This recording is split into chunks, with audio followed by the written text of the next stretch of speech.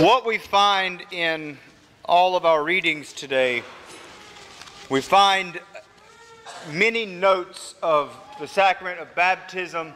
We find many notes uh, regarding uh, what is bestowed upon the sinner. We find many notes uh, of those who work in the vineyard and for those who uh, work much and work little. But there's one thing in particular that I noticed as I was studying what they all have in common. And what they all kind of have in common is this idea of fairness.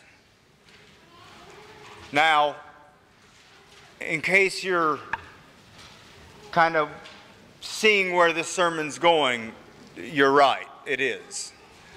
This idea of fairness has always irritated me ever since I grew up.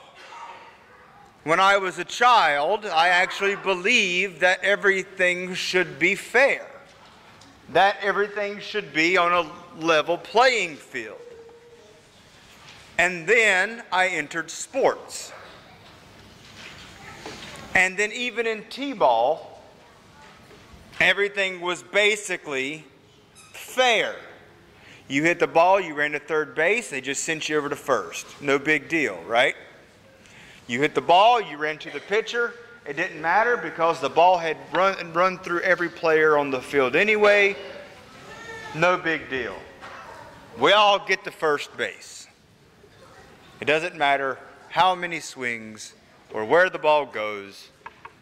And it always made me laugh, or makes me laugh now, to think that T ball has a catcher. And that has been ingrained in us since we were children.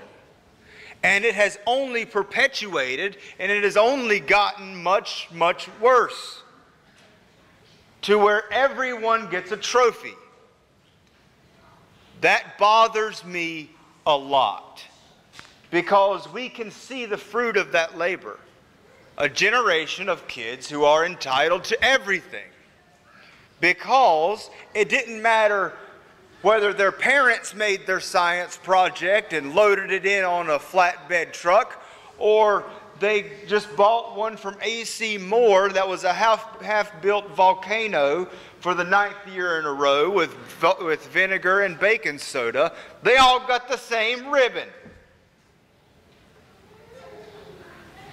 I can't stand that. And the fact of the matter is that it has bec- it's becoming the American way. When the American way was pulling yourself up by your bootstraps and, and going out, and what you put into something is what you get out of it, or what you don't put into it is what you get out of it. Now, we want a fair playing field. And there's three places in particular that we want fairness to always be politics, social situations, school, sports, whatever it may be, and church. I'll sum up the politics one really fast. It's never been fair since it was invented. Done. The second one we see every single day. We expect everything to be fair, and from little children, and I hear it from mine all the time, that's not fair. And I say this to him Who told you it was supposed to be. Because with children, they're given everything. And so their idea of fairness is not that others should receive things as well. Their idea of fairness is that I get more than everybody else. As George Orwell, the great prophet, once said, all pigs are equal, or all animals are equal, but some animals are more equal than others. Everybody wants fairness, they just want a little bit more fairness for themselves. And kids understand that because we give them, because we love them. But then, when, they, when we don't teach them what, that, that they earn what they get, then we get, we grow up and we have 33 year olds who are still living with their parents and, uh, and have not entered into the workforce because they simply have a, a good ride. They have it easy. Mom still does the laundry video games all day. Working is for those other people.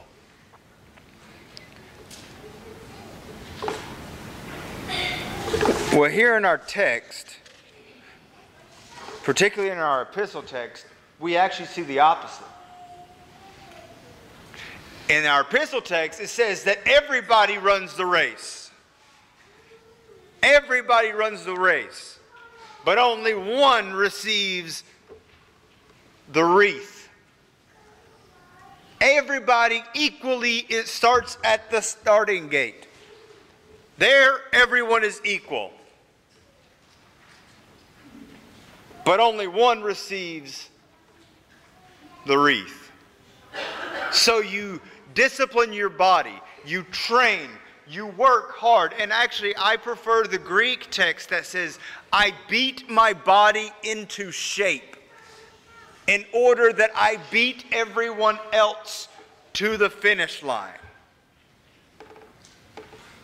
I cage my body.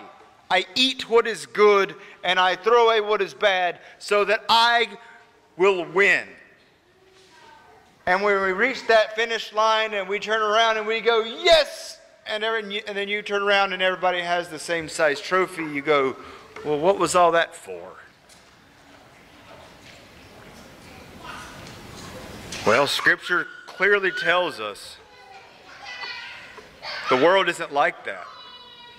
The world isn't truly, at the end of the day, the world isn't fair. And you do have to work hard and pull yourself up by your bootstraps in order to make something out of yourself and, and provide for your family. And we all know this. We all know this.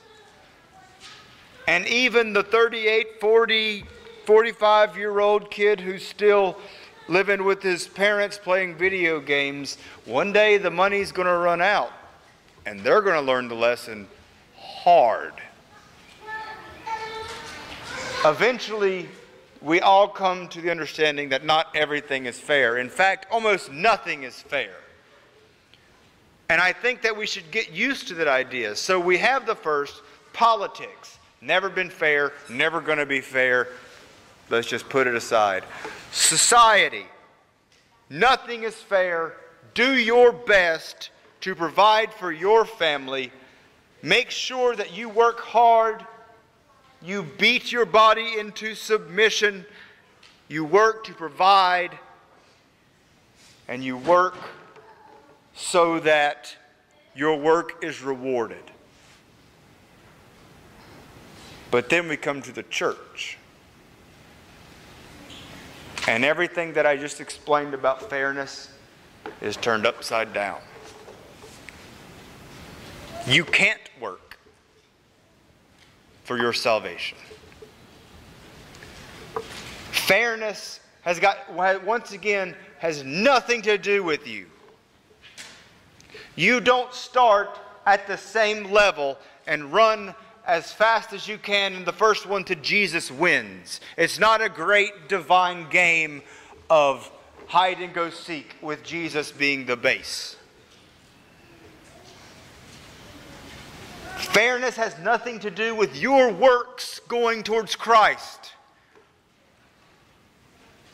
Fairness has nothing to do with Christianity whatsoever except for this Christ, who knew no sin, became sin for us.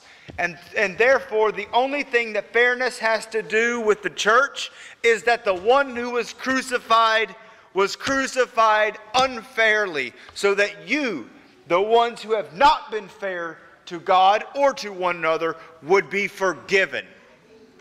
You want to talk about unfair? The crucifixion is the most unfair thing in the history of anything. The one who knew no sin was crucified. He literally became sin.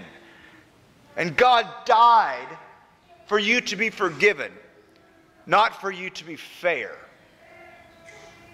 This idea of fair is absolutely stupid. And it drives me crazy because even as adults, we still, still seem to do it.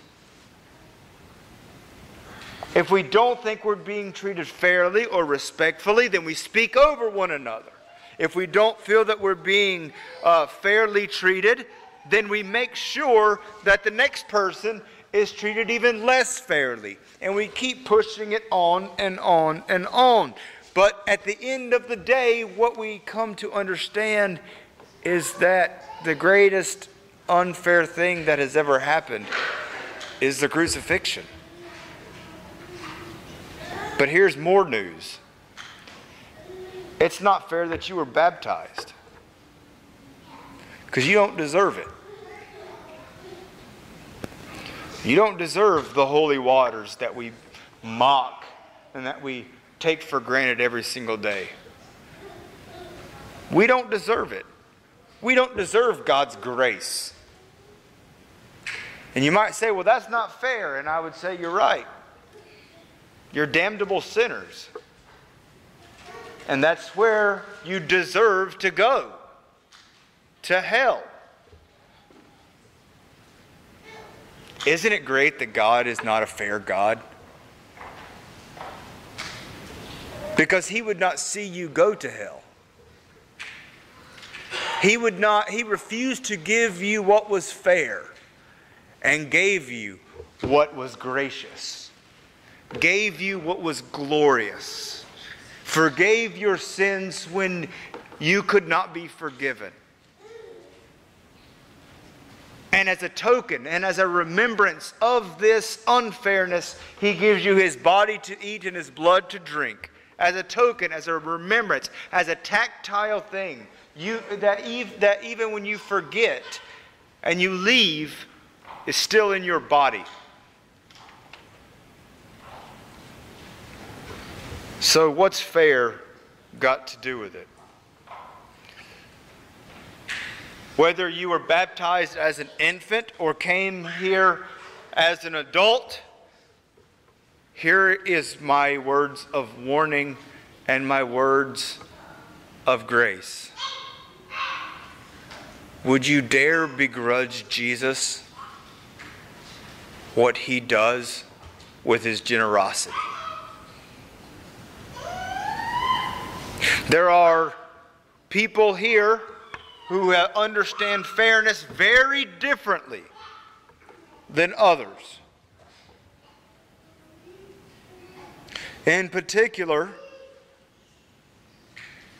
I mean, we can go through the list of, of all socioeconomical uh, uh, elements or whatnot, but also people who have buried spouses people who have buried children, people who have buried miscarriages, people who have hoped for children and not received them, people who lost their fathers too soon and grew up without a father, people who lost mothers too soon and were raised without mothers. To those, the fact that, that, that it's even made legal that we have baby drop offs. That as long as you drop off a baby in a receptacle within 72 hours, it's legal. and you can leave your child there. To those who have been tricked into aborting their children by Planned Parenthood, to those who have been uh, manipulated by every way possible, anyone who has watched earth fall upon the casket of, the loved, of a loved one knows what's not fair.